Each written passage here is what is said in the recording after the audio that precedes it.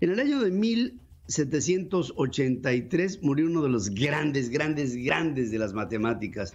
Muere en San Petersburgo. Él vivió parte de su vida en Prusia, porque vivió en Alemania, pero en aquel tiempo era Prusia, y después mm, terminó su obra matemática, enorme obra matemática, en San Petersburgo. Y me refiero al suizo Leonhard Euler.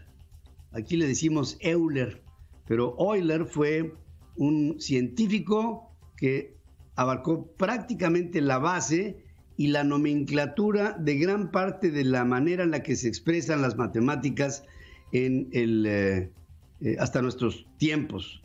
Las fuerzas de integración, las fuerzas de derivación que eh, sistematizan el cálculo, fueron puestas, la base fue puesta por Euler y decía Laplace, decía, decía Laplace, decía, no cabe duda, si queremos saber cuál es el referente y el origen de las matemáticas modernas, no es más que necesarísimo ver y consultar a Euler. Euler, decía Laplace, es el maestro de todos.